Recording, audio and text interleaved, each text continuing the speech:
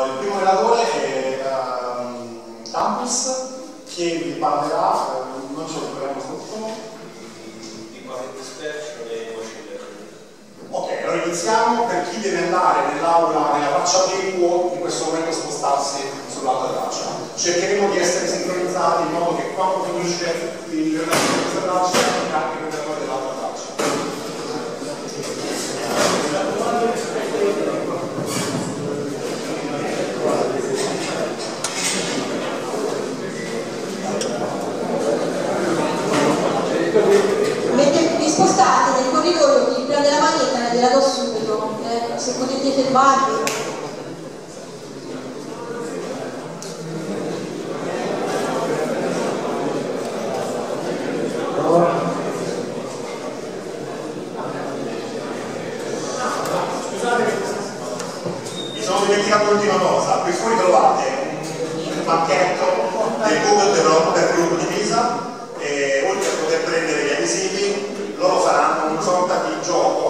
Michigan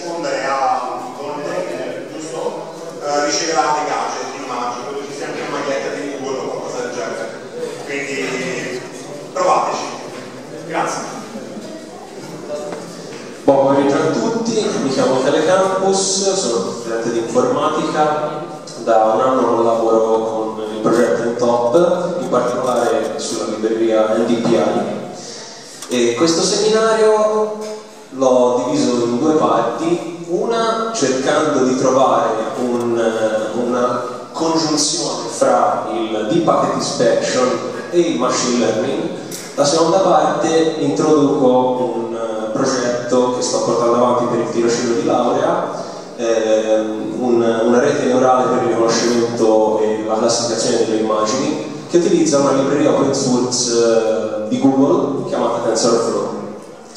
Ma partiamo con eh, la classificazione del traffico. Rapidamente, come si è evoluto eh, la classificazione del traffico di rete nel tempo? Beh, allora, innanzitutto il, eh, la tecnica più ancestrale, diciamo, ormai quasi obsoleta, era quella di definire un protocollo in base alla propria eh, porta, quindi ad esempio porta 80 uguale HTTP.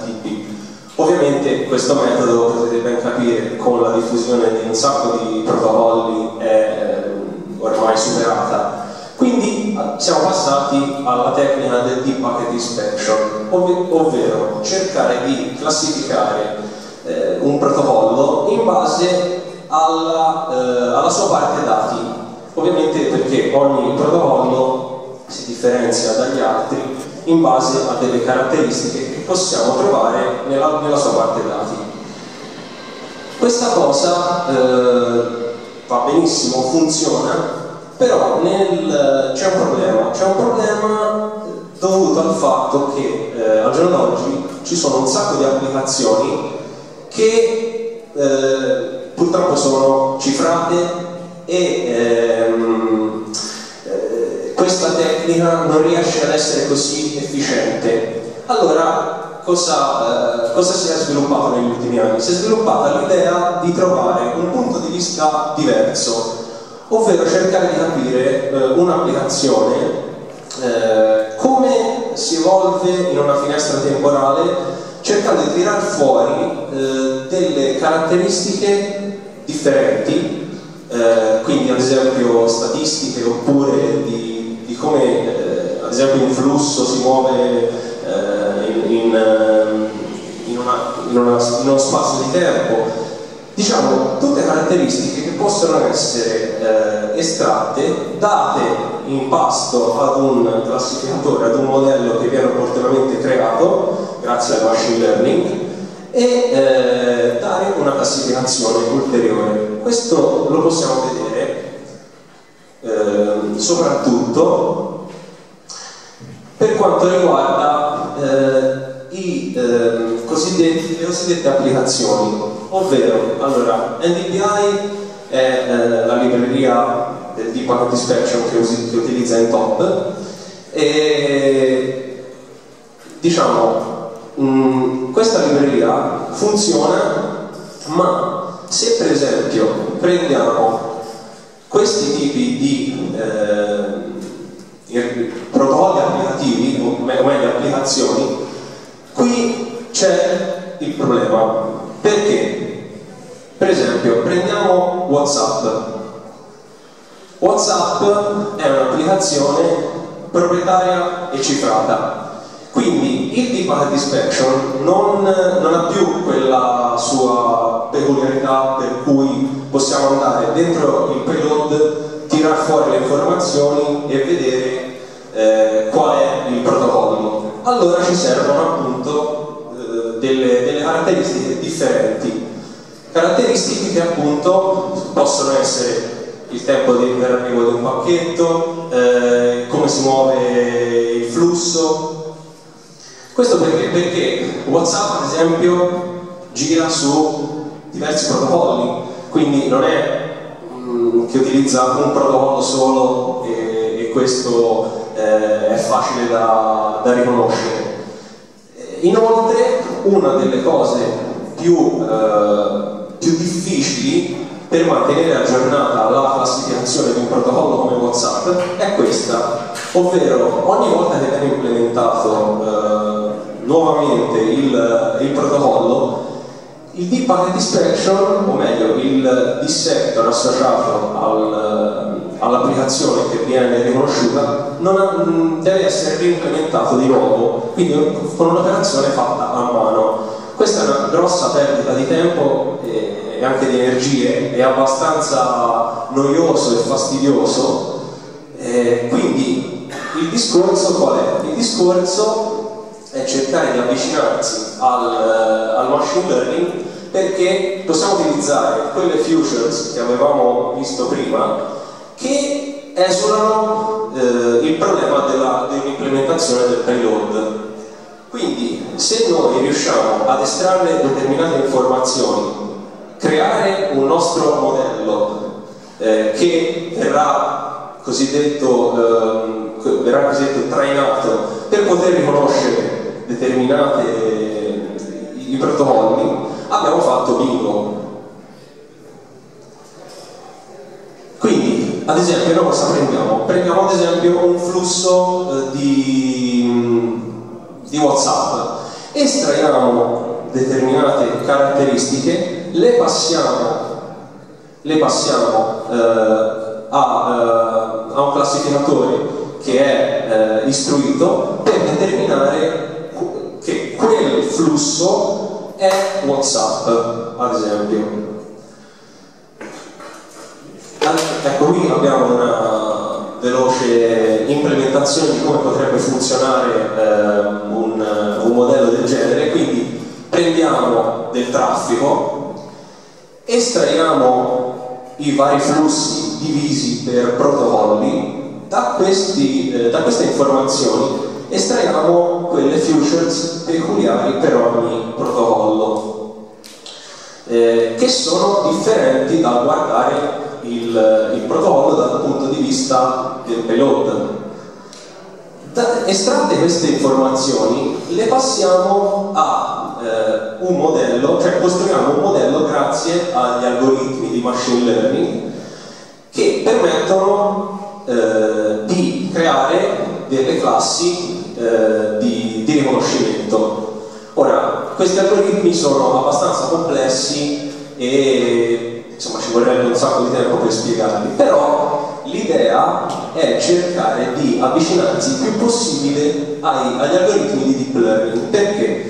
Per questo motivo, perché il deep learning ha il vantaggio di non dover eh, dire al, al, modello quali sono le futures, ma se autoestrae, cioè riesce eh, da solo a, a, a tirar fuori le informazioni che gli interessano. Quindi, per la mia esperienza di quest'anno sul TBI e per eh, lo studio, per il mio tirocinio universitario eh, sul machine learning, posso dire che non credo che il machine learning possa eh, come dire, soppiantare il vecchio di packet inspection, però secondo me se riusciamo a creare eh, un, uh, un classificatore che utilizzi il machine learning per le applicazioni di diciamo, di alto livello che utilizzano vari protocolli e utilizziamo il deep packet inspection per riconoscere i protocolli che stanno sotto, otteniamo la migliore accuratezza possibile. Questo almeno è eh, il mio pensiero e anche eh, insomma, studiando un po' in giro eh, alcuni, alcuni modelli che già esistono, questo diciamo, dovrebbe essere la via da percorrere.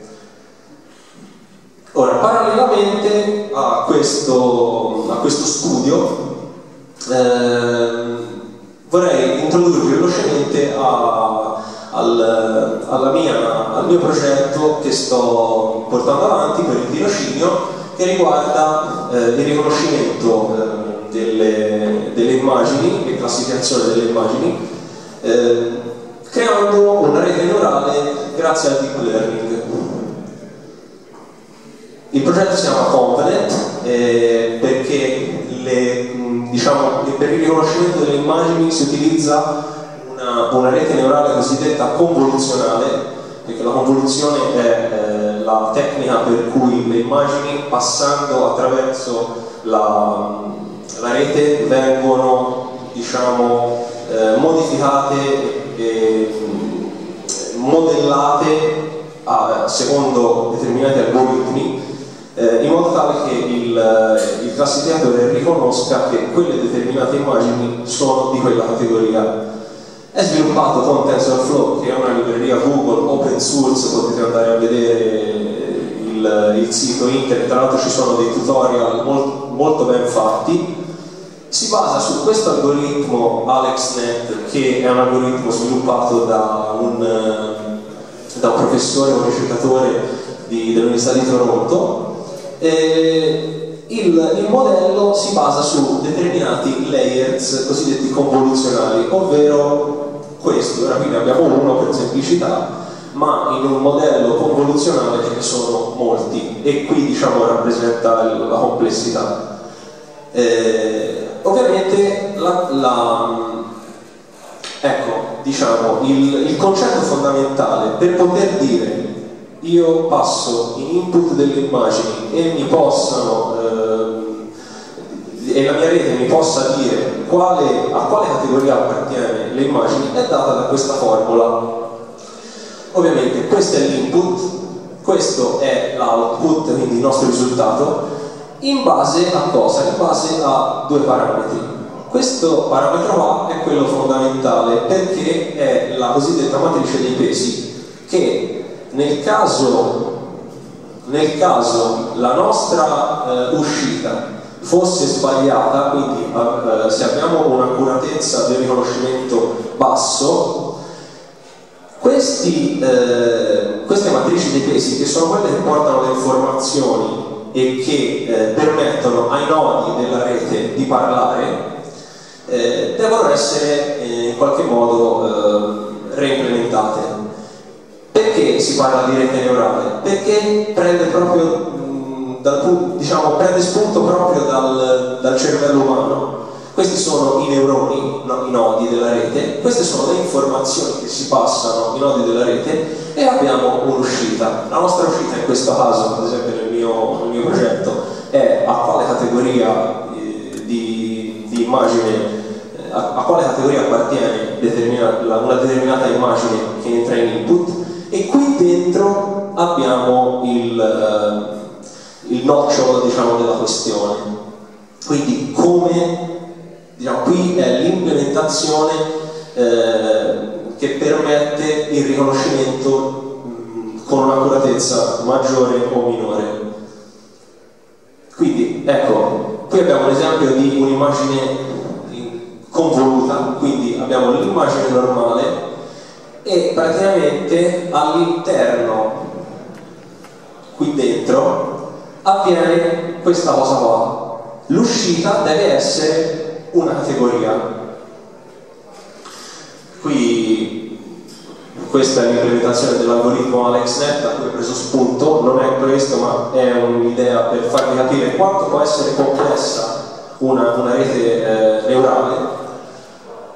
E, e, ecco, qui abbiamo, eh, io ho utilizzato questo, questa libreria chiamata TensorFlow che basa il, um, tutto il discorso sull'idea di grafo e di nodi che si passano uh, informazioni tramite, uh, tramite, dei, dei, tramite i propri collegamenti.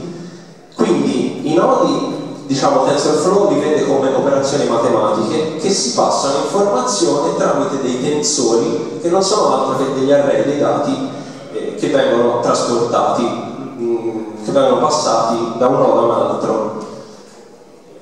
Quindi questa è una rete in cui abbiamo input, i vari nodi che parlano fra di, di sé e eh, poi l'output che sono le varie categorie TensorFlow è scritto in C++, però presenta API in Python. E, ehm, ecco, brevemente, il concetto fondamentale di TensorFlow è il grafo, come detto, e qualsiasi operazione che viene eh, definita nel grafo deve essere passata ad una sessione che rappresenta il, il, il contesto di, di tale operazione e poi lanciata. Quindi tutto è un grafo e il grafo viene lanciato grazie proprio a, alla cosiddetta run. Alla cosiddetta alla run. Quindi qui abbiamo una semplice implementazione e per concludere, visto che eh, c'è pochissimo tempo, eh, un, un attimo visto c'è eh, la differenza fra questa che è diciamo, eh, una semplice implementazione della, ehm, della, della, della, formula per cui abbiamo input, convoluzione immagini, output, è data da queste funzioni che sono la cosa più importante per creare un buon modello eh, un buon modello, eh, in questo caso convoluzionale, ma la convoluzione è per le immagini, poi ci sono eh, reti neurali per il riconoscimento dei, eh, delle parole, delle, delle, voci. Quindi ovviamente TensorFlow implementa tutte queste funzioni che questo, questo è un grosso vantaggio perché ognuna di queste funzioni eh, rappresenta la computazione matematica, una, rappresenta una computazione matematica molto complessa. Eh, fi, finisco, eh, i risultati che abbiamo, che abbiamo ottenuto con questa rete e ho utilizzato due dataset diversi, uno più piccolo e uno più grande. Quello piccolo è riuscito a indovinare il 95% delle immagini, mentre quello grosso stiamo ancora lavorando perché sono ben 13.000 immagini e quando viene lanciato per fare i test ci mette anche 2-3 giorni quindi insomma eh, grazie ci sono ringrazio e qui ci sono un po' di contatti, se vi interessa scrivetemi pure.